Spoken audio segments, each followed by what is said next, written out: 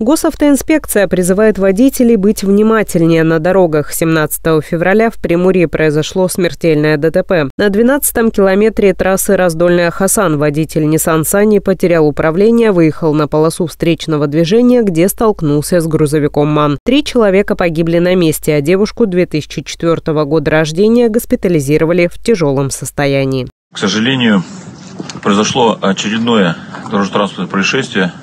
Участок дороги 12 э, километр э, раздольная Хасан. Э, водитель Nissan Сани, двигаясь со стороны поселка Славянка, не учел дорожные условия, не выбрал соответствующую скорость дорожного движения, не справился с управлением и совершил столкновение с движущего в встречном направлении фуры. Дорожно-транспортное происшествие произошло с тяжкими последствиями.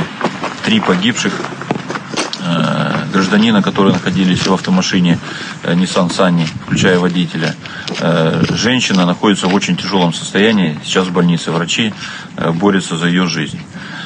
Хотелось бы обратиться с убедительнейшей просьбой. Соблюдайте скоростной режим. На проезжей части погодные условия были сегодня туман, э, явно наблюдались гололедные явления. Водитель этого не учел.